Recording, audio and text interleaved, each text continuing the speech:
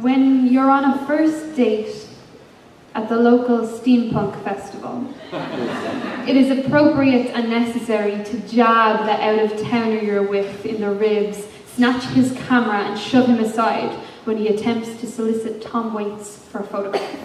Hmm. Explain that in these parts we have an unspoken code.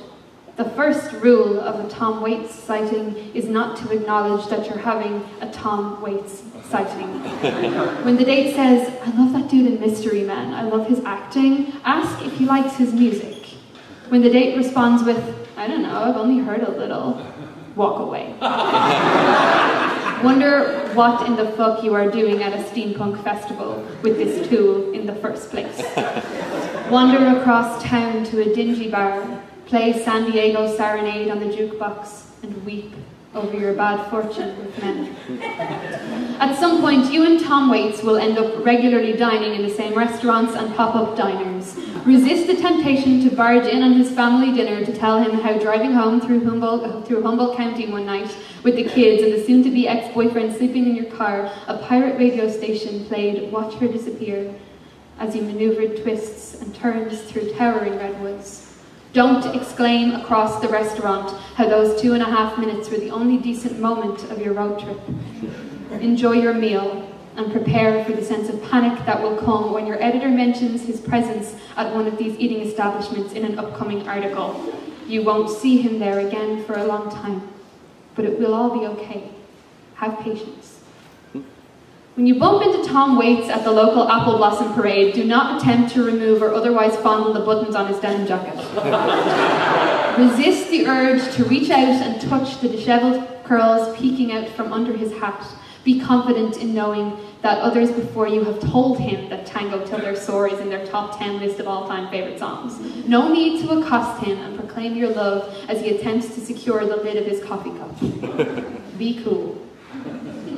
Your friend, who works as personal assistant for Tom Waits, might show up at your clothing swap with a bag of his things that were meant for Goodwill. This is the only instance you are allowed to have a complete meltdown.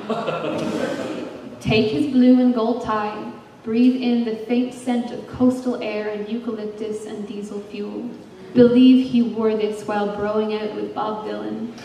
Put on big time and do a little dance. Cry when your friend snatches it and gives it to her loser husband.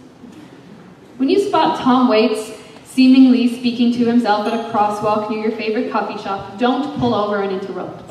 Refrain from blabbering on and on about how blood money came out at a brutal time in your life, how All the World is Green was the theme song to your most epic heartache, how you listened to it at least 837 times when you grieved the death of the same person who devastated you, how you put the kids to bed at night and sit in the dark and sob. Know that in this moment, as Tom Waits crosses the street in front of you on that grey autumn morning, that he is likely channeling the lyrics in a yet-to-be-written song, and they are forming on his lips in that very moment.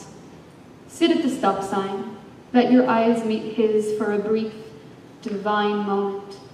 Listen to every song on the next album. Guess which one you helped him bring into the world from behind your windshield. Look up into the sky. When you bump into Tom Waits, not once, but twice on the stairs at the premiere of Silver Linings Playbook at a local film festival, accept his apology and offer him popcorn. Don't suggest that diamonds and gold should be in the imaginary movie you're making about your life. know that laughing and crying in unison with Tom Waits as he sits a few rows away from this Mill Valley Theatre must mean something big, like the time you reached out your hands as the Dalai Lama walked by that talk in Tucson, like in those rare moments when your mind slows down and opens up the words you need to be writing, know that wherever this dude goes, there is some divine presence accompanying him, and tell yourself, for whatever it's worth, that since you've come in such close contact so many, countless times, and kept it so incredibly pat yourself on the back cool over the past two decades, that maybe some of his magic will rub off on you as well.